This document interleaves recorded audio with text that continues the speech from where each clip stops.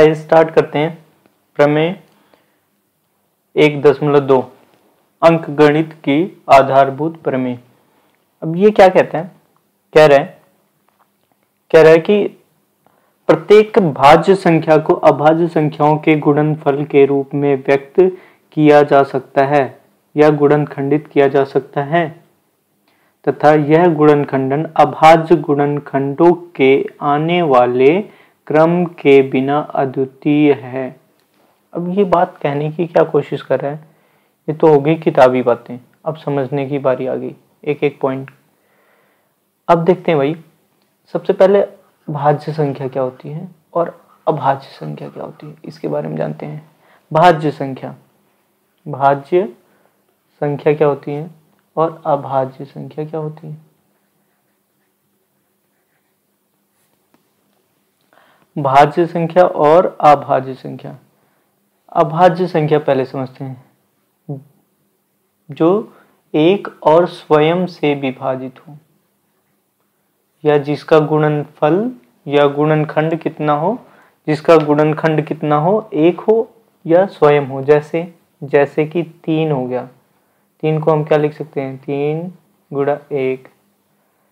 पाँच को क्या लिख सकते हैं? तीन गुणा सॉरी पाँच गुणा एक। ऐसे लिख सकते हैं। और अभाज्य हमें समझ में आ गया अब भाज्य को देखते हैं। जो एक हो, स्वयं से भी हो, और अन्य संख्याओं से भी हो, अन्य संख्याओं से भी हो। ठीक है ना? वो भाज्य संख्या कहलाती है। जैसे कि पंद्रह हो गया पंद्रह गुना एक भी लिख सकते हैं, स्वयं और एक आ गया। इसको तीन गुना पाँच भी लिख सकते हैं, या पाँच गुना तीन भी लिख सकते हैं। ठीक है ना? बात क्लियर हो रही है? तो पंद्रह, ये सबसे स्टार्टिंग की भाई क्या एक भाज्य संख्या है? अभाज्य संख्या है? ना ये भाज्य है, ना ये अभाज्य है। दो अभाज्य, तीन है, पाँच है, सात है, ग्यारह है। तेरह है, सत्रह है, तेईस है, उन्नीस भी है। तेईस उनतीस है। ये सारी संख्याएँ जो कि एक से कटती हैं और खुद से कटती हैं, वही संख्याएँ होती हैं। अब ये क्या अभाज्य, यहाँ तक तो हमारे समझ में आया, भाज्य और अभाज्य क्या हुआ। अब हम समझते हैं क्वेश्चन में मतलब थ्योरम में क्या कहा गया है? प्रमेय में क्या कहा गया है? उस बारे में उन तथ्यों पे चर्चा करेंगे। रेज हो जा।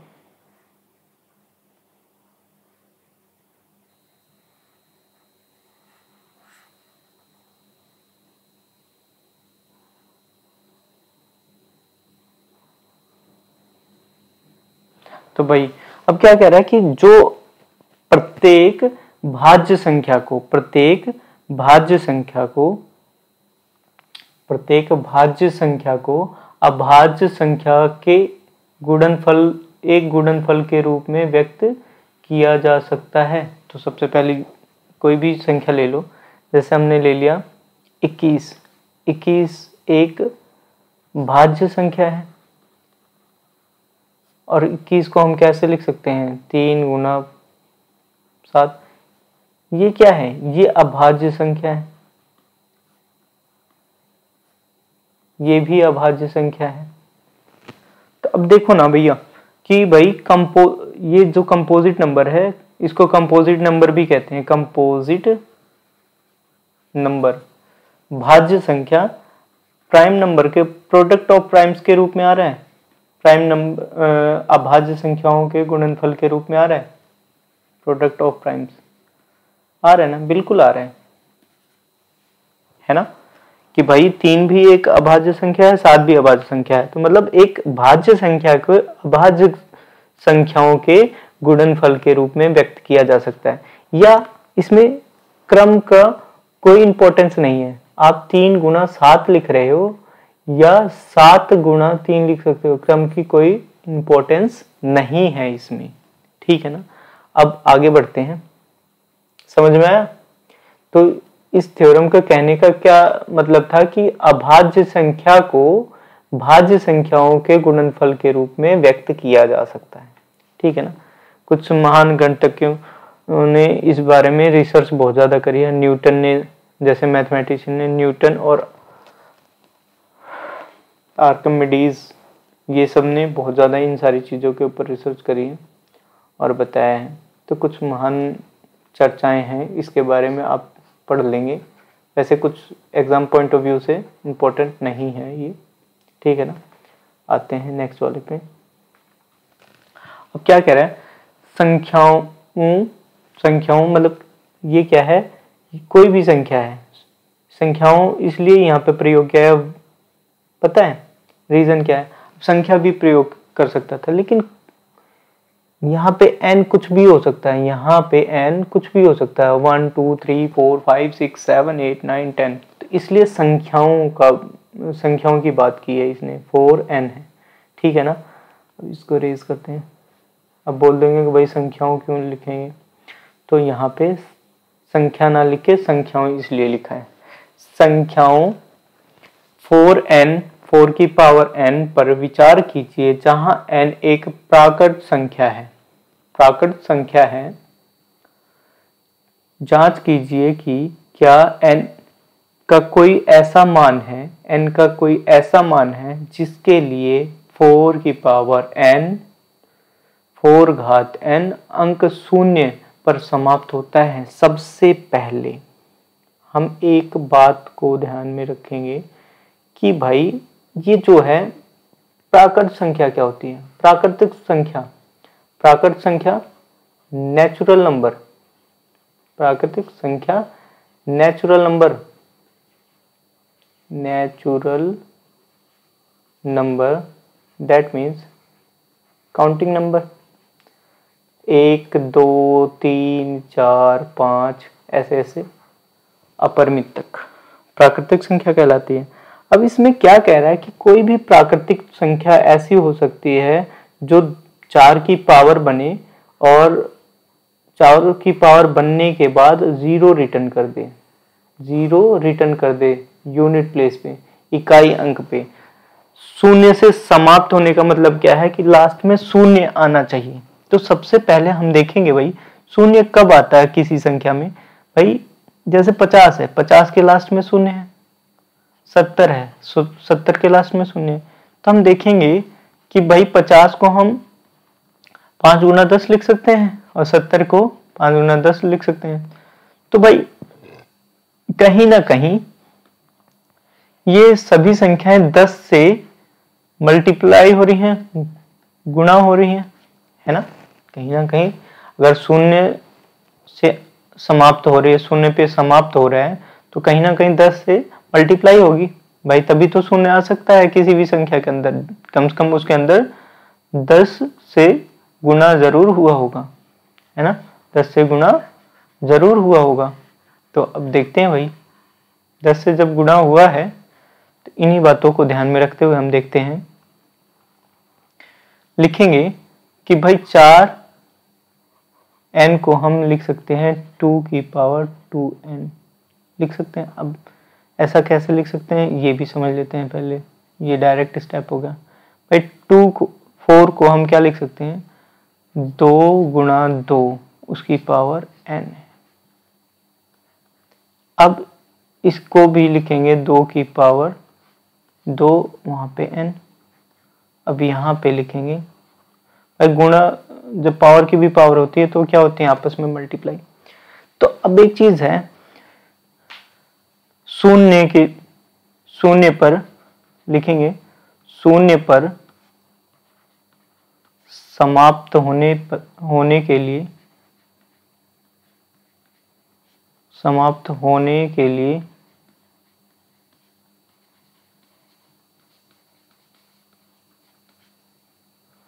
दस से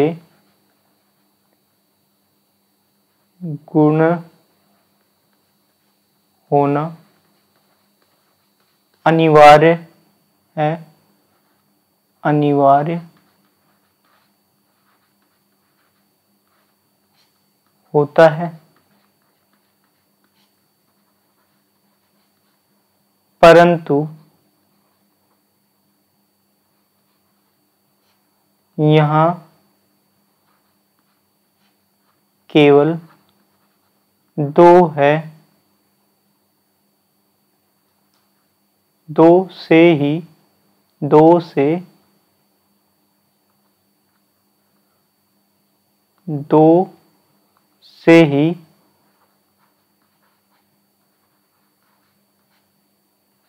गुण हो रही है।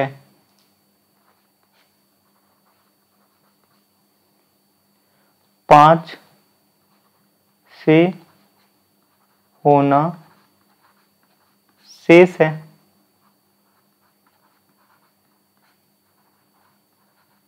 अतः अतः एन का कोई भी कोई भी ऐसा मान नहीं है।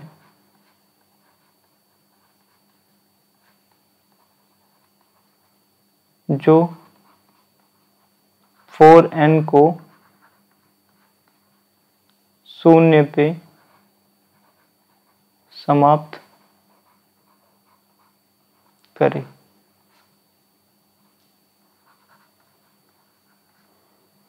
ठीक है? नेक्स्ट आते हैं।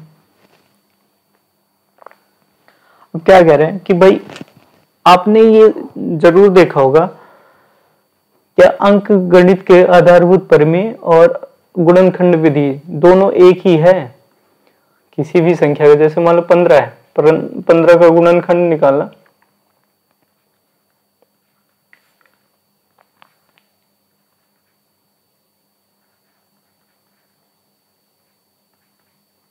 यही है।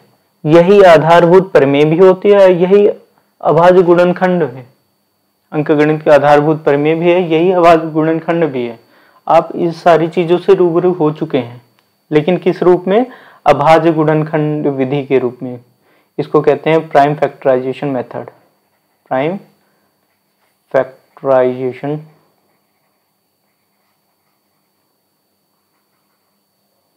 method ठीक है ना? प्राइम फैक्टराइजेशन मेथड के रूप में आप जानते हैं इसको। और ये क्या कहलाता है?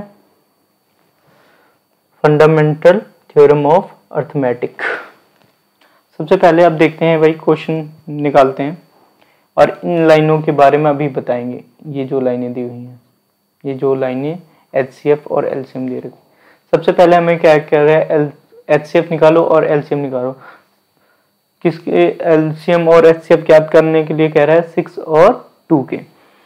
तो सिक्स सिक्स का गुणनफल, गुणनखंड कर दीजिए। और ट्वेंटी का कर लीजिए।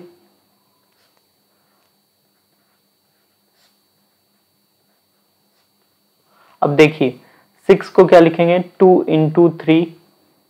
और ट्वेंटी को क्या लिखेंगे? टू की पावर टू बाई टू की पावर टू लिख सकते हैं और ये फाइव, है ना? अब देखिए इसमें क्या कह रहा है?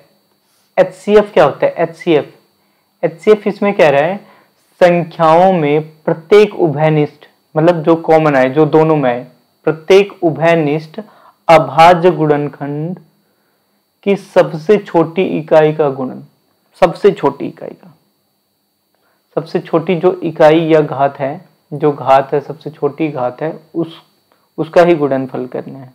तो सबसे पहले हम देखते हैं यहाँ पे। ब्लैक अब देखो भाई, सबसे छोटी घात इन दोनों में कॉमन है, उभयनिष्ठ, पहले देखना है। सबसे पहले क्या देखना है? उभयनिष्ठ देखना है। उभयनिष्ठ देखना है। और फिर उसके बाद, फिर देखना है आपको, सबसे पहले उभयनिष्ठ देखना है, फिर उसके बाद छोटी घात देखना है एच में। छोटी घात, उभयनिष्ठ, फिर छोटी घात। तो भाई, उभयनिष्ठ दो है। भाई, तीन और पाँच अलग अलग हैं, लेकिन उभयनिष्ठ जो दोनों में है तो दो है। और सबसे छोटी घात क्या है? यहाँ पे कुछ नहीं है तो वन है तो वन। तो एचसीएफ क्या है हमारा? वन। और एलसीएम क्या आता है? एलसीएम क्या कह रहा है कि संख्याओं में संबद्ध प्रत्येक अभाज गुणनखंड की सबसे बड़ी घात। प्रत्येक हर हर अभाज गुणनखंड की बात कर रहा है, प्रत्येक अभाज गुणनखंड की बात कर रहा है। ना कि उभयनिष्ठ अभाज गुणनखंड की बात कर रहे हैं यहाँ प्रत्येक की कर रहा है। तो भाई, और सबसे हाईएस्ट वाली तो इन दोनों में कॉमन कौन सा है? दो है। और उसकी हाईएस्ट पावर अब इन दोनों में प्रत्येक को कह रहे हैं। तो भैया, ये देखो, ये हुआ चार, ये हुआ तीन, ये हुआ पाँच। अब हो गया बारह या बीस, साठ। कितना आया? साठ है। ठीक है ना? अब नेक्स्ट चलते हैं भाई। अब एक बात ध्यान दीजिएगा, इस फॉर्मूले का हम प्रयोग करेंगे। ये जो दिया हुआ है ना, इसका फॉर्मूले का प्रयोग करेंगे। हम कैसे फॉर्मूले का प्रयोग करते हैं? अभी इस क्वेश्चन में क्या कहने का मतलब कह रहा है कि एचसीएफ किसी का निकाल लो, दो संख्याओं का और दो ही संख्याओं का, उसी उन्हीं दोनों संख्याओं का एल्सियम भी निकालो, वो क्या कहलाएँगी? दोनों, वो दोनों किसके बराबर होंगे? दोनों संख्याओं के गुणनफल गुणनफल के बराबर होंगी। गुणनफल के बराबर होंगी। बात क्लियर होगी? यही कहने की कोशिश कर रहे हैं यहाँ पे ठीक है ना? अब लेते हैं भाई इरेजर और करते हैं इरेज इन सारी अनावश्यक तथ्यों के। वैसे ही आवश्यक ही तथ्य होते हैं, लेकिन हम इसको दिखाते नहीं है। देखो भाई, आवाज़ गुणन खंडन विधि द्वारा या आवाज़ गुणन खंडन विधि द्वारा या हम क्या कह सकते हैं? अभी हमने बताया ना, आवाज़ गुणन खंडन विधि द्वारा या क्या कह सकते हैं? क्या कह सकते हैं भैया? अंक गणित के आधारभूत प्रमेय द्वारा, ठीक है ना? यहाँ पे देख लो, यही दिया है ना? अब लेते हैं भाई क्वेश्चन को सॉल्व करेंगे। कि भाई छियानवे है और चार सौ चार है। सबसे पहले लेते हैं इसको दो। दो ज़ीरो दो दो, one zero one one zero one, ये वन हो गया। छियानवे, दो, four, six, eight, two two, four, फिर टू, ट्वेल्व, टू। लेते हैं ये सिक्स आ गया, ये टू, थ्री थ्री, वन। भैया, अब हम लिखेंगे छियानवे को छियानवे को लिखेंगे। One, two, three, four, five. तो टू की पावर क्या लिख सकते हैं? फाइव लिख सकते हैं और यहाँ पे थ्री। और फोर, ज़ीरो, फोर को हम क्या लिख सकते हैं? टू की पावर टू। ठीक है, ये लिख दिया। अब मैं, हमें निकालना क्या है?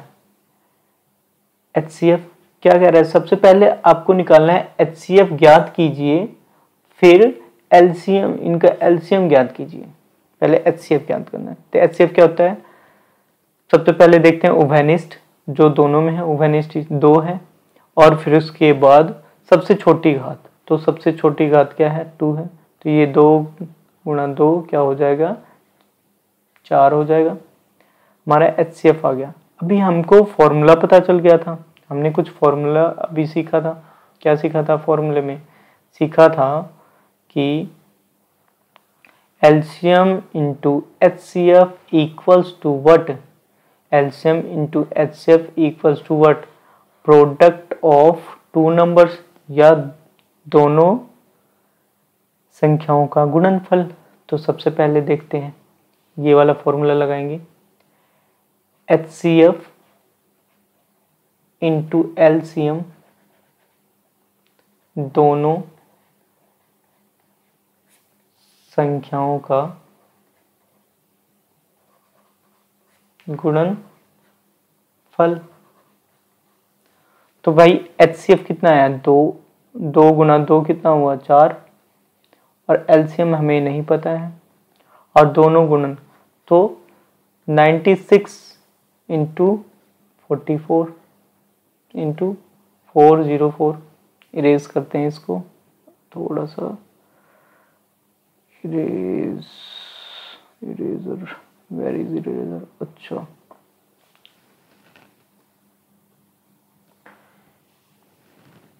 फिर से देखते हैं ये इरेज हो गया। 96 को हमने क्या लिखा था?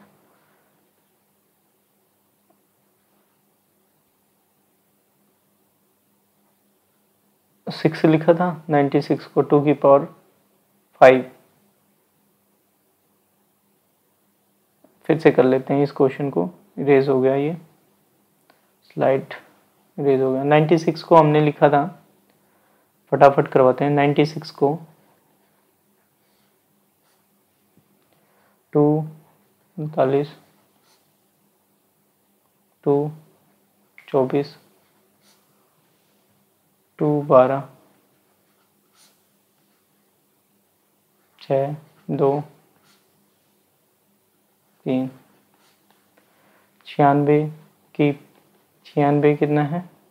टू की पावर फाइव, वही ठीक था। टू की पावर फाइव इंटू थ्री और चार सौ चार को हमने क्या लिखा था?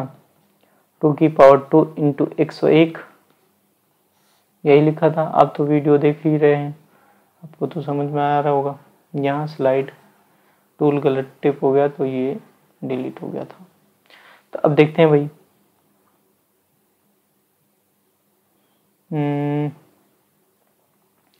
एच सी एफ़ क्या आएगा?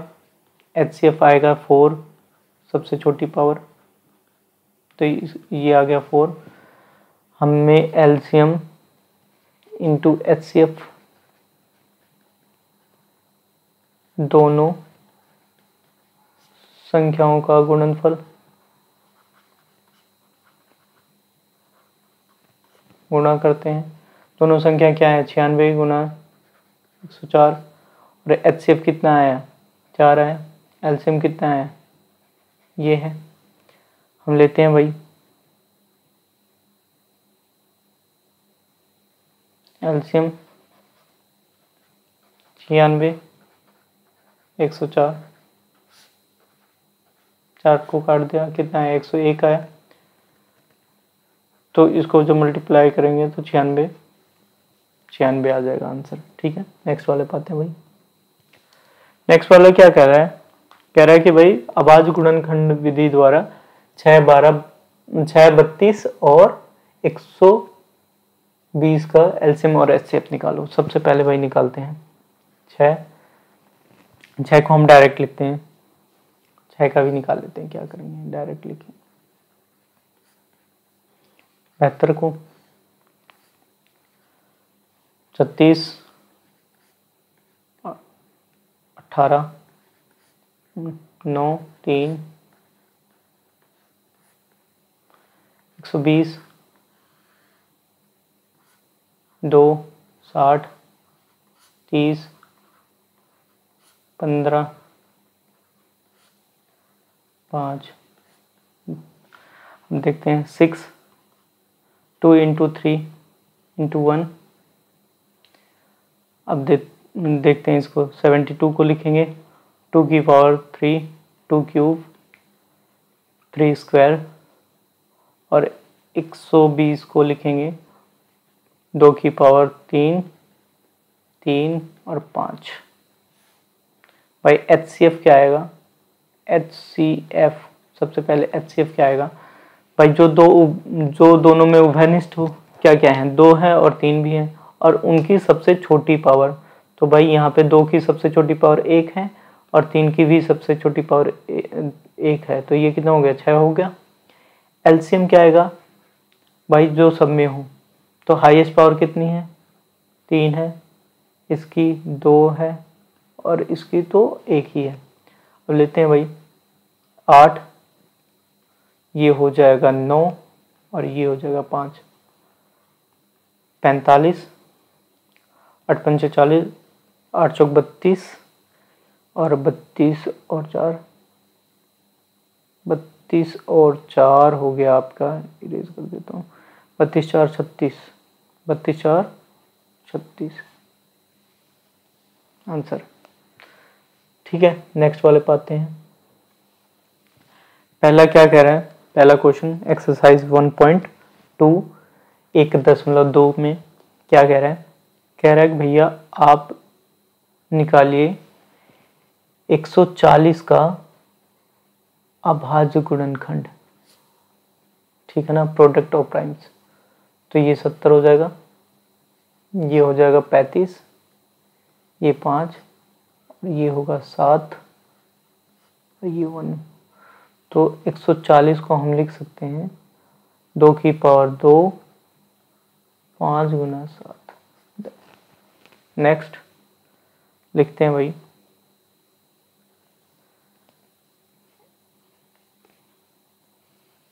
इसका प्रोडक्ट ऑफ़ प्राइम्स निकालते हैं। टू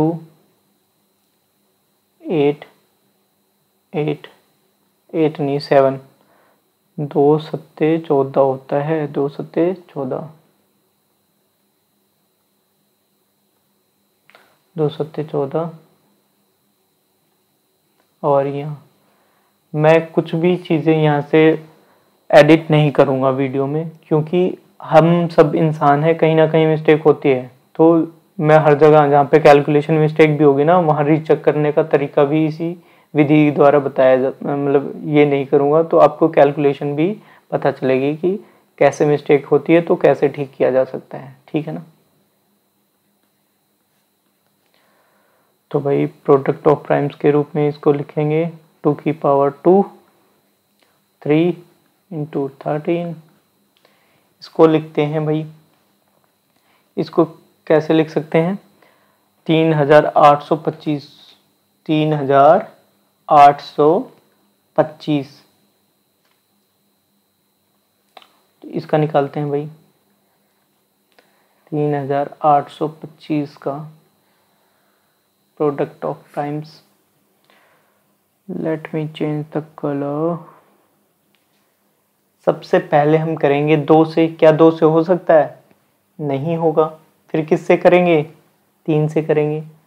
तीन एक कम तीन तीन दूनी छः सात, पाँच, बारह बारह पचहत्तर आ गया। फिर देखते हैं। तीन से करते हैं। कितना आया? चार। या कितना आया? दो।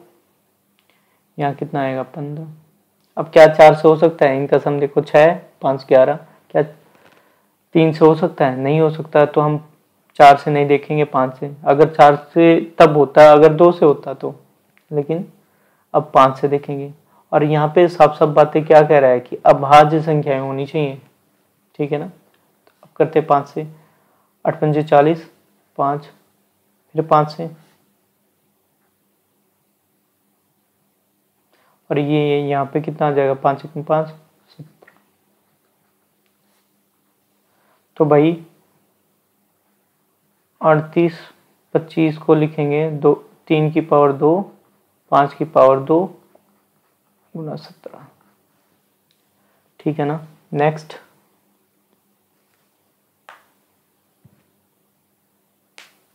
नेक्स्ट क्या कह रहे हैं? कह रहा है कि भाई अच्छा कुछ क्वेश्चन भी छूट गए हैं। अब इसको इरेज करके यहाँ तक तो आपने नोट कर लिया। अब कुछ क्वेश्चन छूट रहे हैं। इनको भी मैं ठीक यहीं पे एडजस्ट कर देता हूँ। ठीक है ना? हाँ अब कुछ क्वेश्चन जो छूट गए हैं, इस स्लाइड में नहीं लिखे गए हैं तो मैं बता देता हूँ, वो क्वेश्चन क्या है? एनसीईआरटी के ही है। लेते हैं भाई। फोर्थ पार्ट है इसका। फोर्थ पार्ट में क्या कह रहे हैं? कि भाई 505 का करो 505 का करो। तो 505 का क्या है, होगा? पाँच से करेंगे? एक ज़ीरो ज़ीरो एक। एक ज़ीरो ज़ीरो एक से करेंगे तो ये वन आ जाएगा। तो पाँच हज़ार पाँच का क्या होगा? प्रोडक्ट ऑफ़ प्राइम्स या आवाज़ गुणनखंड क्या होगा? पाँच गुना एक सौ एक हज़ार एक। ठीक है ना? अब नेक्स्ट वाला पार्ट, फिफ्थ पार्ट बच गया था। अब इसमें देखते हैं भाई। सात हज़ार चार सौ उनतीस को करना है।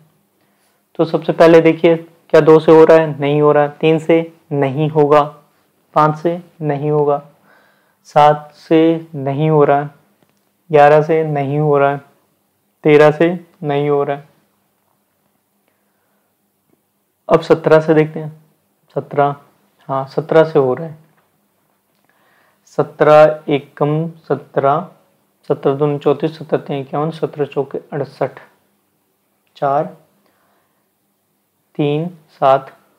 यहाँ पे अब देखो सत्रह सो रहा है। नहीं हो रहा है। फिर किससे करने उन्नीस से करेंगे। तो उन्नीस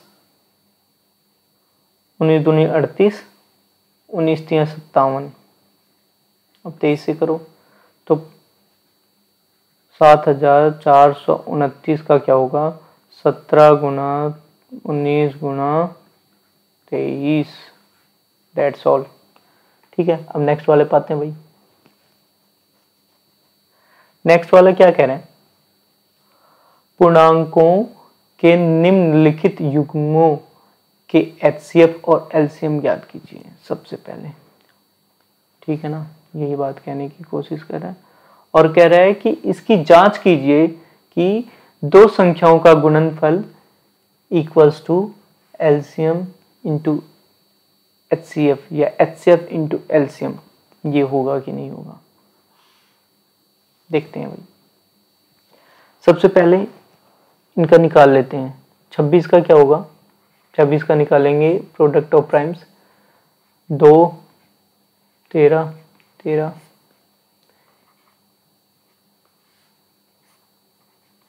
तेरह सत्तर इक्यानवे।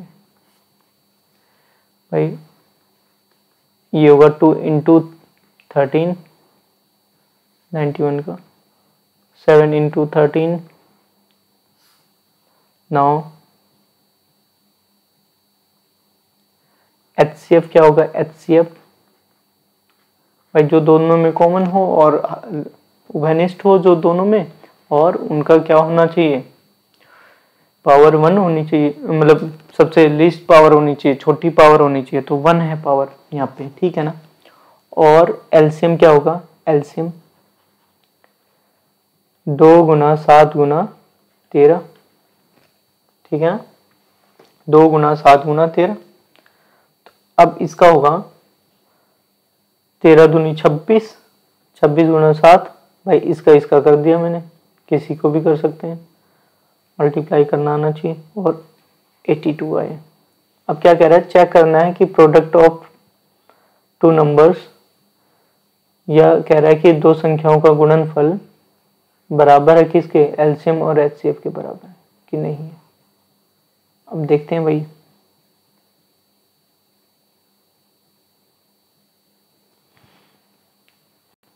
दो संख्याओं का गुणनफल।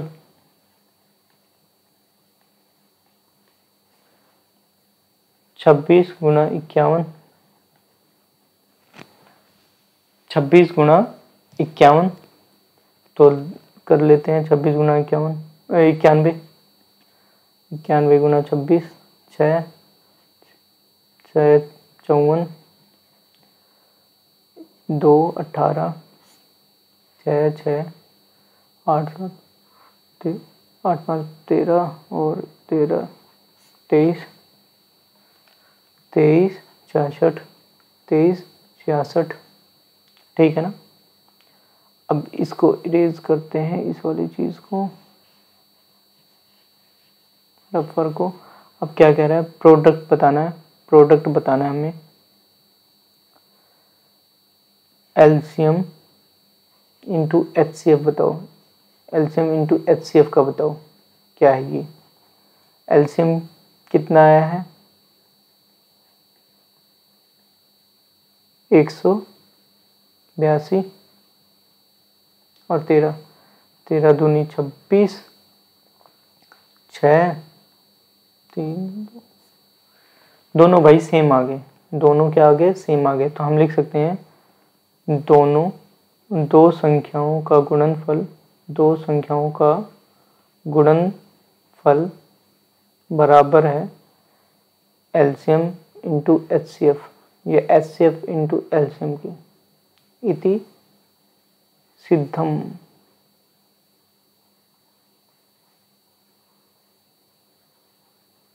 इति सिद्धम नहीं, यहाँ पे हम सत्यापित करें ना, प्रूफ तो नहीं करें। यहाँ पे हम लिखेंगे सत्यापित है। सत्यापित है। ठीक है नेक्स्ट वाले में लिखेंगे। नेक्स्ट वाला क्या कह रहा है भाई? इसका निकालो भाई। 510 दो। यहाँ हो जाएगा 255 फिर यहाँ पे देखो, दो से नहीं हो रहा। इनका सम करो बारह बारह, दो, बारह तीन से हो रहा है तो ये भी होगा। तीन, आठ, पाँच पाँच, सत्रह से। तो 510 को लिखेंगे, two into three into five into seventeen. इसको इरेज करते हैं भाई।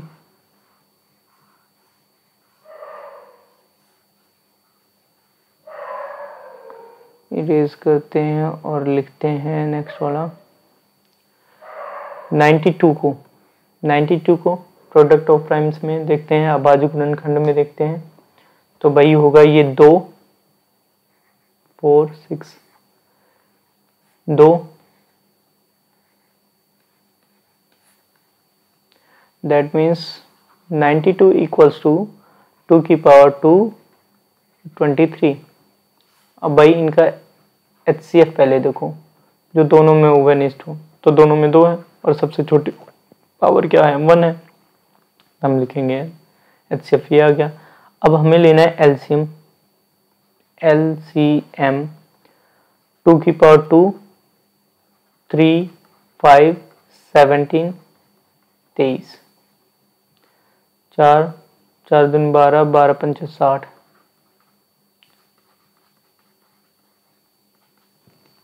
इनका आएगा प्रोडक्ट इनका प्रोडक्ट करेंगे, तेईस चार सौ साठ होगा। क्या होगा? तेईस चार सौ साठ होगा।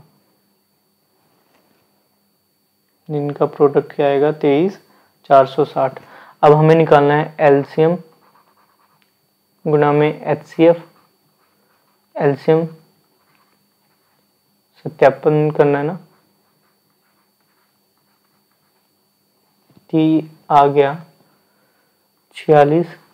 इसका दो गुना ही कर देना सीधा। नौ सौ बीस। छियालीस, नौ सौ बीस। और लिखना है नेक्स्ट वाले में। नेक्स्ट पॉइंट क्या लिखना है इसी क्वेश्चन में? इरेज करता हूँ इसको।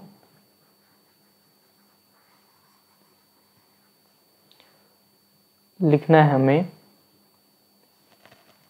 दोनों या दो संख्याओं का गुणनफल।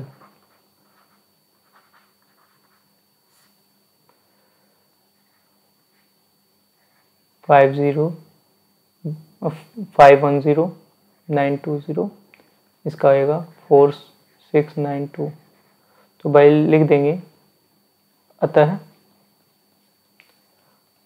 दो संख्याओं का गुणनफल गुणनफल बराबर है LCM into H C F ये क्या है? ये है सत्यापित वेरीफाइड है। ये क्या है? वेरीफाइड है। वेरीफाइड सत्यापित है। सत्यापित है। नेक्स्ट वाले पाते हैं भाई।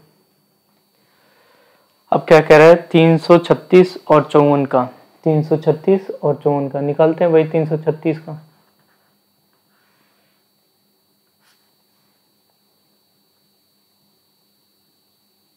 तीन सौ छत्तीस का निकालते हैं। दो से करेंगे। दो से करेंगे तो क्या आएगा? भाई एक और फिर बारह हो जाए तेरह हो जाएगा। एक तेरह छ और आठ। फिर दो से करो भाई। आठ, चार, फिर दो से करो भाई। चार, दो, फिर दो से करो भाई। टू, वन, फिर थ्री से करो। Seven seven, one. तो लिखेंगे तीन सौ छत्तीस को। दो की पावर चार।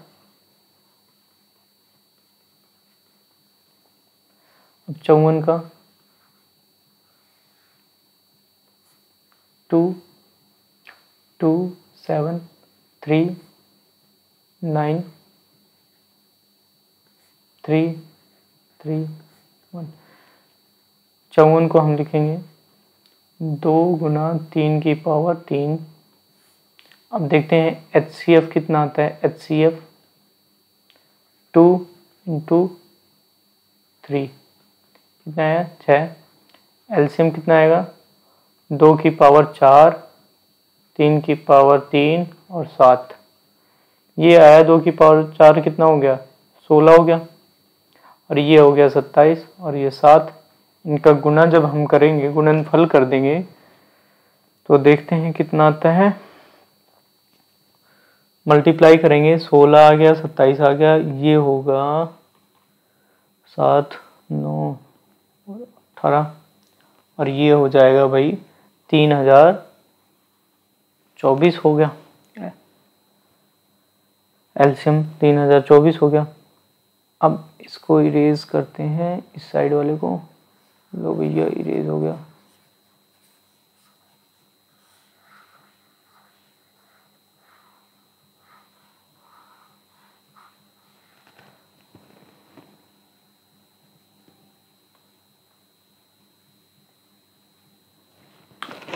LCM into H C F तीन हज़ार चार तीन हज़ार चौबीस और छः। इनकी मल्टीप्लाई करेंगे, छः चौक चौबीस, छः दूनी बारह बारह और दो चौदह, एक, अठारह। दो संख्याओं का गुणन फल ये होगा भाई। तीन सौ छत्तीस गुना चौवन, ये हो जाएगा, ये भी हो जाएगा अठारह, एक सौ चौवालीस। तो हम लिखेंगे अर्थात या अतः अतः अतः अतः। दो संख्याओं का, दो संख्याओं का गुणनफल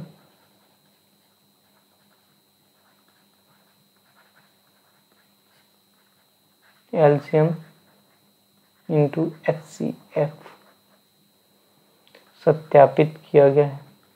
यह सत्यापित है। ठीक है ना? नेक्स्ट वाले पे आ जाते हैं। अब क्या कह रहा है? अभाज्य गुणनखंडन विधि द्वारा निम्नलिखित पूर्णांकों के एचसीएफ और एलसीएम ज्ञात कीजिए। ठीक है ना? तो हम एच सी एफ़ इसके निकालते हैं और एलसीएम इसको लिख क्या लिख सकते हैं? दो दो की पावर दो और ये थ्री निकाल लो भाई छोटे छोटी संख्याओं को क्या निकालें? थ्री की थ्री और फाइव के मल्टीप्लाई होगा। और ट्वेंटी वन को हम क्या लिखेंगे? Three into seven H C F क्या आया? थ्री एलसीएम क्या आएगा?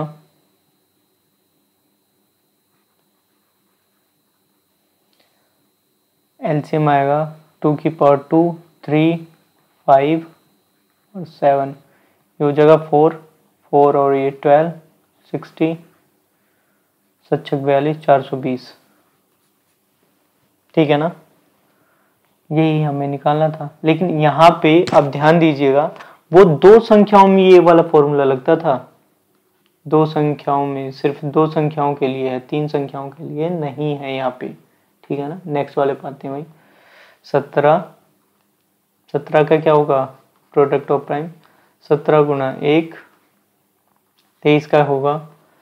तेईस गुणा एक। उनतीस का क्या होगा? उनतीस गुणा एक। और इसका हो जाएगा H C F H C F होगा भाई वन जो दोनों में कॉमन आए। और एलसीएम क्या आएगा? दोनों या तीनों में? दो या दो से अधिक होने चाहिए। तो एलसीएम क्या होगा? सत्रह गुना तेईस गुना उनतीस। अब इसके मल्टीप्लाई करेंगे, सत्रह गुना तेईस गुना उनतीस। तो ये होगा तीन सौ इक्यावन, तीन सौ इक्यानवे, उनतीस। और ये। बच्चों, एक चीज़ और बता दूँ, जैसे मैं संख्याओं को बोलता हूँ तो कुछ अलग बोल देता हूँ। जैसे अभी तीन सौ इक्यानवे था, तीन सौ इक्यावन बोला। तो मेरे पास दो दो तीन तीन लैपटॉप खुले हुए हैं, हर जगह ध्यान देना पड़ता है तो मैं शायद इस बात पे फोकस नहीं कर पाता, मुँह से क्या निकल रहा है। तो एक आध बार खुद दिमाग लगाना। मैं लिखता सही हूँ, लेकिन निकल जाता है गलत दिमाग से तो ये ध्यान में रखना। दो दो तीन तीन लैपटॉप मेरे दो लैपटॉप खुले हुए हैं और एक स्क्रीन खुली हुई है। पूरा ध्यान से मुझे इस पर अटेंशन देना होता है, फिर क्वेश्चन भी पढ़ना होता है। ठीक है ना? अब नेक्स्ट पे आते हैं भाई। अब आठ को क्या लिख सकते हैं? दो की पावर थ्री और वन नाइन को क्या लिख सकते हैं? टू थ्री की पावर टू और पच्चीस को क्या लिख सकते हैं? दो की power five H C F क्या आया भाई? एच सी एफ़ इन दोनों का। भाई कुछ नहीं है तो क्या है? वन है। भाई सब में कॉमन आ रहा है, वन ही। अब यहाँ पे लेते हैं एलसीएम एलसीएम क्या आएगा? टू की power three two cube three square five square that means eight into nine into twenty five twenty five दो सौ आठ से आठ से गुना करेंगे पच्चीस को, दो सौ आएगा और नौ। नौ दिन अठारह अठारह सौ। दैट्स ऑल नेक्स्ट वाले पा भाई। अब क्या कह रहा है? एच सी एफ़ दिया हुआ है। हमें क्वेश्चन में एच सी एफ़ दिया हुआ है। और कौन कौन से नंबर का दिया हुआ है? एच सी एफ़ ध्यान से देखिएगा भाई। एच सी एफ़ हमें दिया हुआ है। ये रहा एच सी एफ़ हमें दिया हुआ है। ठीक है ना? एच सी एफ़ दिया हुआ है। और कौन कौन सी संख्या है? तीन सौ दो है तीन सौ छ है और छः सौ सत्तावन है। ठीक है ना? और इसका। जब कभी भी हम किसी भी दो संख्याओं का एचसीएफ निकालते हैं तो ऐसे लिखते हैं। एच सी एफ़ ऑफ़ मान लो वो पहली संख्या ए दूसरी संख्या बी हो तो ऐसे लिखते हैं। एच सी एफ़ वो उन दोनों संख्याओं का एच सी एफ़ ठीक है ना? और एलसीएम भी दोनों संख्याओं का पूछ रहे हैं। तो हमें निकालने के बाद बता रहे हैं। तो हम इसको इरेज करते हैं इन सारे पॉइंट्स को। इन सारे पॉइंट्स को इरेज करते हैं और आते हैं भाई, फिर से अब क्या कह रहा है? एच सी एफ़ दे रखा है। तो हमें पता है, दो संख्याओं का गुणनफल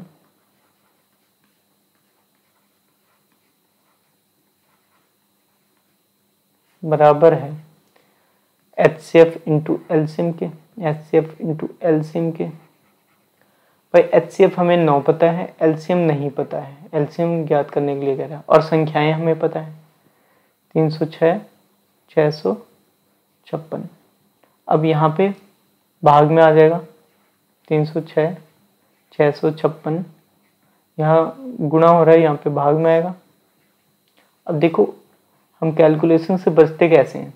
अगर मैं इसको सीधा नाइन से कर दूँगा, ये नाइन से भी जाएगा। सीधा कर दूँगा तो ये टेबल पढ़ने में कैलकुलेशन करने में दिक्कत ज़्यादा होगी, क्योंकि बड़े बड़े टेबल हैं। तो इसको हम लिखेंगे 102 और इसको भी हमने काट दिया। यह दो, यहाँ एक, और सत्ताईस का नौ हो जाएगा। ठीक है ना? अब 102 को हम करेंगे कैसे? दो सौ उनतीस मतलब 102 ऐसे लिखा है 102 गुणा। तो हम क्या करेंगे, पहले 102 को हम किस 100 और दो के टुकड़े में कर देते हैं 100 100 से एक बार गुणा करवाते हैं इसको और एक बार दो से, और इन दोनों को जोड़ देंगे तो आ जाएगा आंसर। ऐसे भी करते हैं। ये थोड़ा सा शॉर्ट कैलकुलेशन के लिए ट्रिक होती है कैलकुलेशन करने के लिए। नहीं तो पेपर में आप बैठे रह जाएँगे टाइम ऐसे पास हो जाएगा, ठीक है ना? तो पहले सौ से जब मैं करूँगा, सौ से मल्टीप्लाई तो ये सेम ही आ जाएगा डबल ज़ीरो और दो से करेंगे तो चार सौ अड़तीस हो जाएगा। चार सौ अड़तीस। ये कितना आया? आठ, तीन, और ये नौ, तेरह, दो दो।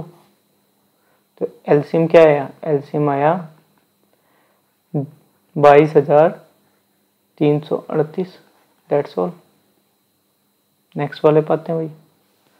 आ, बहुत बेहतरीन क्वेश्चन है। जाँच कीजिए कि प्रत्येक जाँच कीजिए कि किसी प्राकृतिक संख्या n के लिए संख्या सिक्स की पावर n अंक ज़ीरो पर समाप्त हो सकती है। ज़ीरो पे समाप्त होने के लिए कंडीशन बताइए मैंने कि अभी पिछले क्वेश्चन में ही कुछ क्वेश्चन पहले ही हमने लिया है कि भाई अगर कोई भी संख्या ज़ीरो पे समाप्त होती है, ज़ीरो पे समाप्त होती है तो वो दस से ज़रूर दस में मतलब दो और पाँच से ज़रूर मल्टीप्लाई होगी।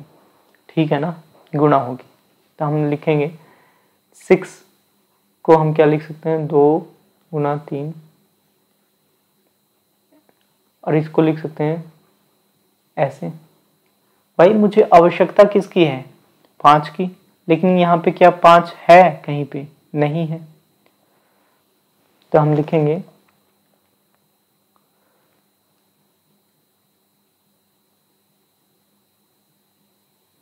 ज़ीरो पर शून्य पर शून्य पर शून्य पर समाप्त होने के लिए,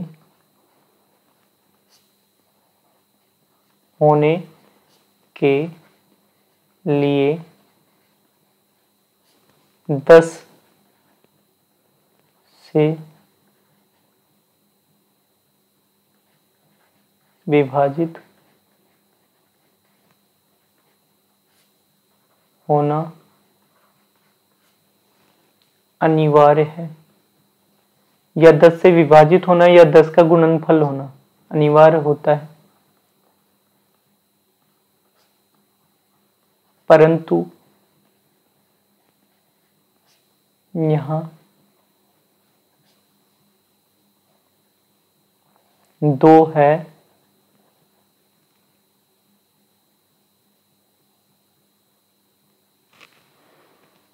परंतु यहाँ दो है और और पाँच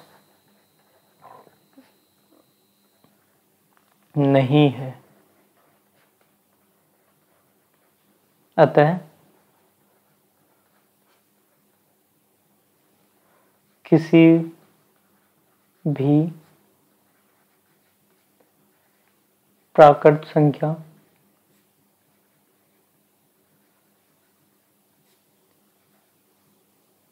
n के लिए सिक्स एन अंक ज़ीरो पर समाप्त नहीं हो सकती।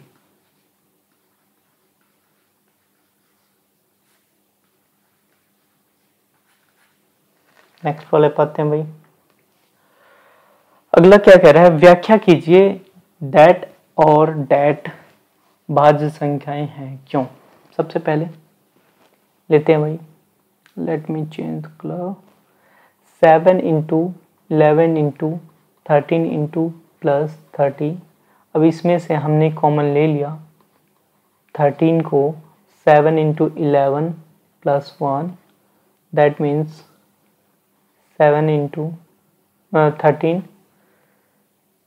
seventy seven plus one thirteen into seventeen eight और इसको भी हम क्या लिख सकते हैं? तेरह पच पैंसठ तिरछन अठहत्तर दो गुना तीन लिख सकते हैं। तो क्या भाई हमने आधारभूत प्रमेय पढ़ा था कि भाई कोई भी संख्या हो, कोई भी संख्या हो, जिसे हम, कोई भी कंपोजिट नंबर है, कोई भी कंपोजिट नंबर है, भाज्य संख्या है, कोई भी भाज्य संख्या है, जिसको हम प्रोडक्ट ऑफ़ प्राइम्स में मतलब अभाज्य संख्याओं के गुणनफल में लिख सकते हैं तो ये सारी संख्याएँ क्या है? अभाज्य हैं। अभाज्य हैं ये सारी संख्याएँ। और ये भी जो गुणा करके बनेगी, वो कौन सी संख्या बनेगी? भाज्य संख्या होगी। तो यही क्या कह रहे हैं? सिद्ध करने के लिए कह रहे हैं। है ना? अब इस वाले पॉइंट को, एक तो हमने सिद्ध कर दिया, दूसरे वाले पॉइंट को हम सिद्ध करते हैं। दूसरे वाले तथ्य को, दूसरे पहलू को सिद्ध करते हैं। सात गुना छः गुना पाँच गुना चार गुना तीन गुना दो गुना एक प्लस पाँच पाँच को हमने क्या ले लिया? कॉमन ले लिया। पाँच, सात गुना छः गुना चार गुना दो गुना, तीन गुना दो प्लस एक। अब यहाँ पे आया सच्छक बयालीस और बयालीस और यहाँ पे आठ, चौबीस, बयालीस और ये हो गया चौबीस प्लस वन इसका होगा बयालीस और चौबीस के मल्टीप्लाई करेंगे, चौबीस दूना अड़तालीस छियानवे एक सौ आठ प्लस वन भाई टेबल ज़रूर याद कर लेना है, चौबीस, तीस तक तो पहाड़े याद कर लीजिए अगर जल्दी कैलकुलेशन करनी है। तो भाई ये दो अभाज्य संख्याएँ हैं, ठीक है ना? तो भाई अभाज्य ये दोनों संख्याएँ लेकिन ये कोई ना कोई जब गुणा हो जाएगा, इनका गुण फल हम निकाल देंगे तो ये क्या होगी? भाज्य संख्या होगी। तो अतः हम इन दोनों तथ्यों से अंक गणित के, अंक गणित के आधारभूत आधारभूत प्रमेय द्वारा हम इसे इन दोनों को, इन दोनों संख्याओं को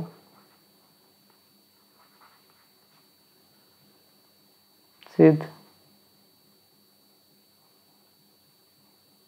संख्याओं को भाज्य संख्या भाज्य संख्या सिद्ध कर सकते हैं।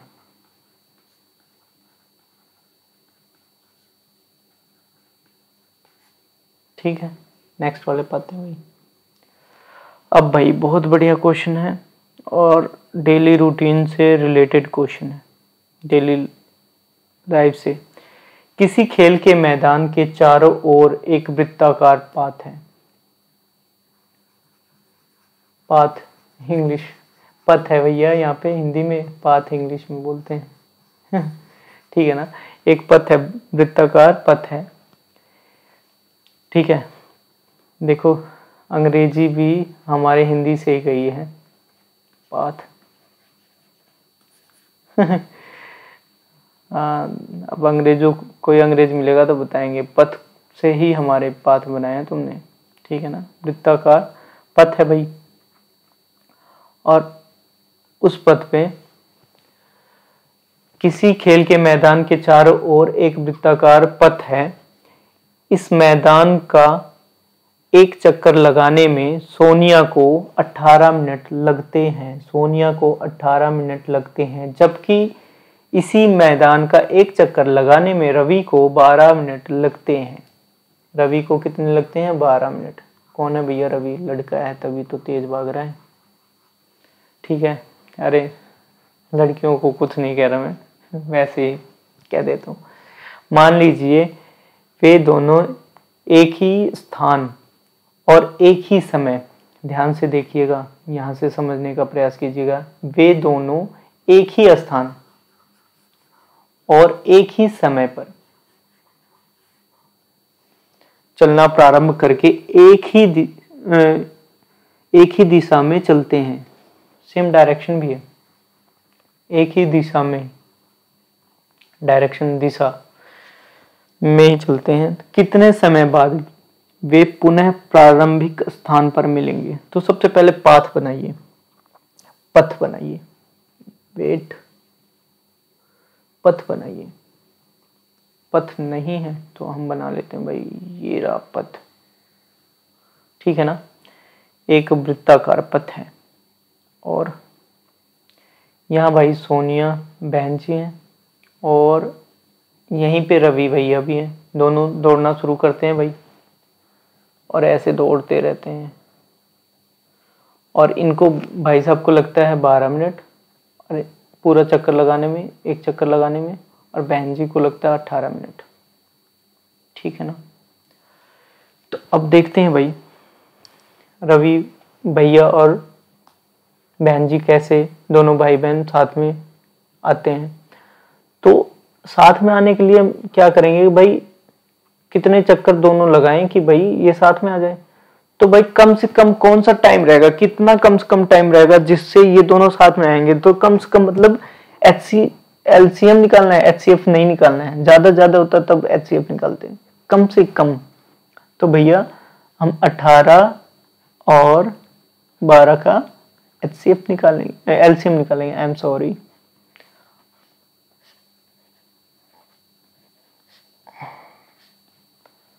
यहाँ थ्री आया।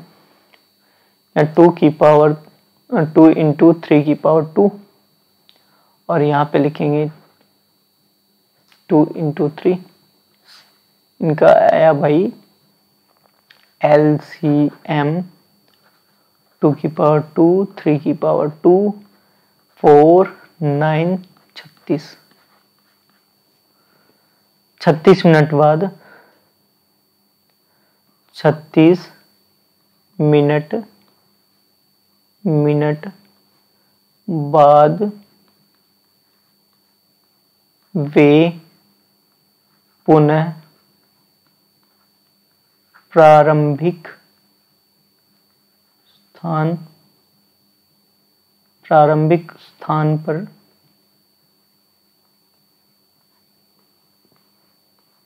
मिलेंगे।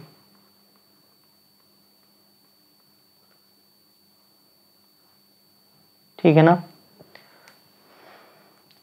Thank you very much A K E learning के चैनल को सब्सक्राइब कर लीजिए बेल आइकन प्रेस कर लीजिए और टेलीग्राम ग्रुप ज़रूर ज्वाइन कीजिए। ठीक है ना? टेलीग्राम ग्रुप ज्वाइन करेंगे तो आपको पीडीएफ नोट्स और नोटिफिकेशन सारे मिलते रहेंगे टाइम टू टाइम